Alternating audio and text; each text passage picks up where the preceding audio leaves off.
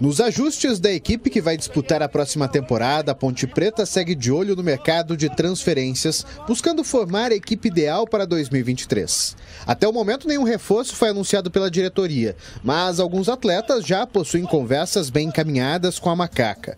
Júnior Tavares, do Náutico, já possui um pré-contrato assinado para o ano que vem. O atleta, que é lateral esquerdo de formação, deve chegar à Alvinegra para reforçar o meio-campo. Para o mesmo setor, quem também deve chegar a Campinas é Alisson. O meia, que pertence ao Vila Nova, estava emprestado ao Cuiabá e deve ser novamente emprestado pelo Tigre, dessa vez para Ponte Preta. Com alguns contratos perto do fim, a diretoria também analisou algumas renovações da equipe titular para 2023. Kaique França, um dos principais destaques da Ponte na Série B, vai vestir a camisa da Macaca até o final de 2024.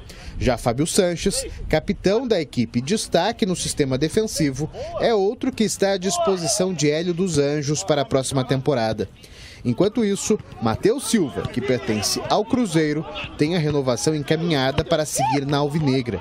Quem também continua em Campinas é Everton. O jogador, que se recupera de uma lesão grave no tornozelo, teve seu empréstimo renovado até o final da próxima temporada, justamente quando seu contrato com o Grêmio se encerra. A partir de julho, o atacante já pode assinar um pré-contrato e a expectativa é que ele assine em definitivo com a Macaca.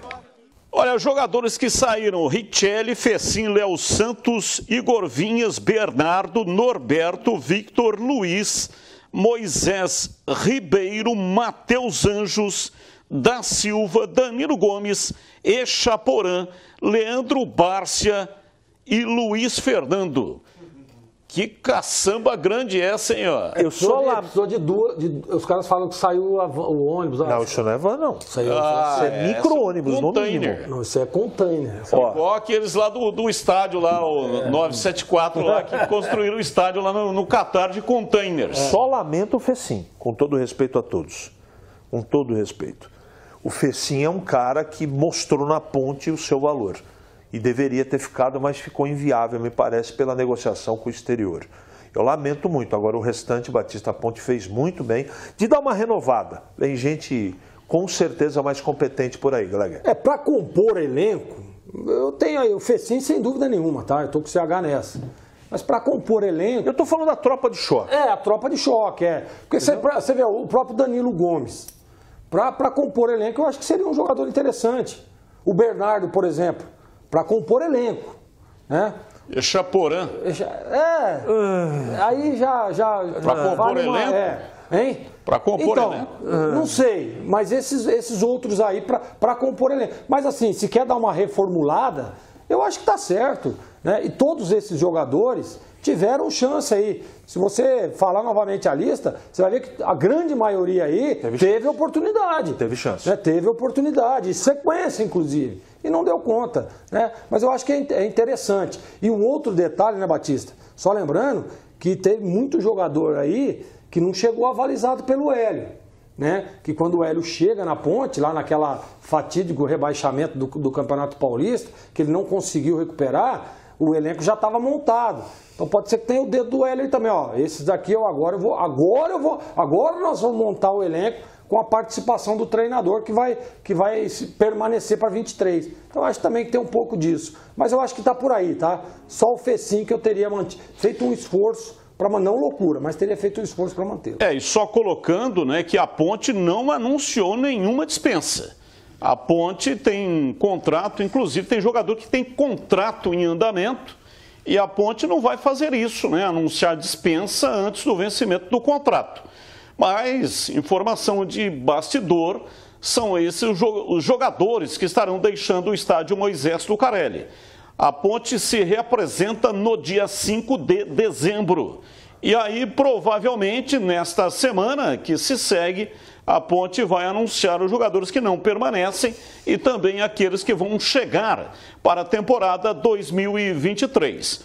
E com relação a renovação de contratos, né? A Ponte conseguiu aí também, a Ponte não anunciou nenhuma renovação. Dia 5, mais conhecido como segunda-feira, né? É, segunda-feira, exatamente. Mas jogadores né, que a Ponte conseguiu renovar o contrato. O Everton já tinha contrato, está em recuperação, quebrou tornozelo contra o Brusque.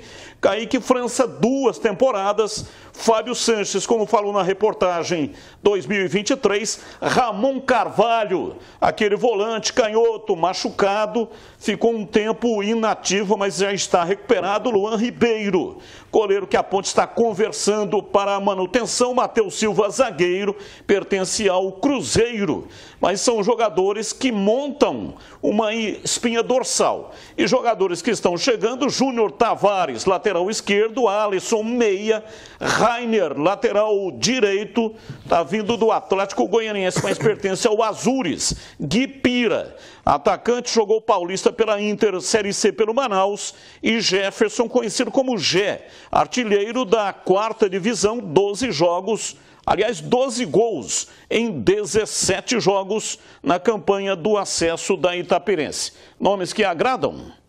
É.